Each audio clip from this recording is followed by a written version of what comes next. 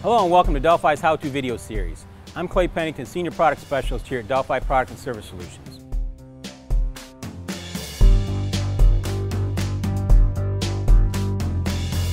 In this next video, we're going to talk about fuel pressure and flow testing.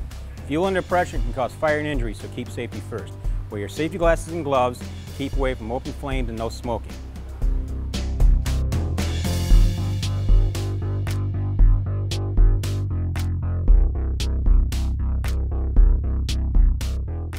Okay, so now let's go ahead and perform our fuel operational test.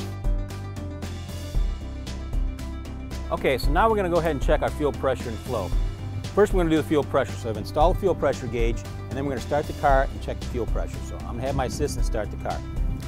Go ahead, Jeff, start the car up.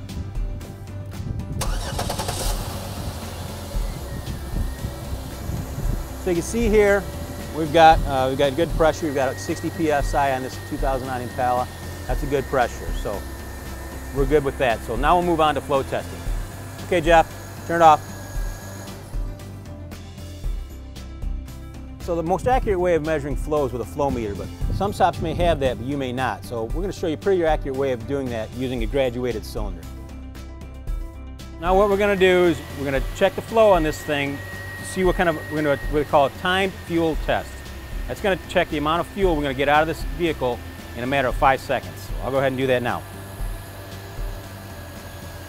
One, two, three, four, five.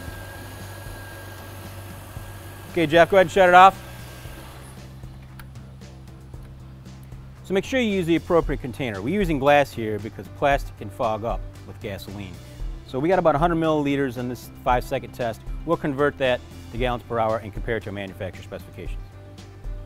So that's pressure and flow testing. Thanks for watching. Be sure to check out our other Delphi How-To series videos to help save you time in your shop every day.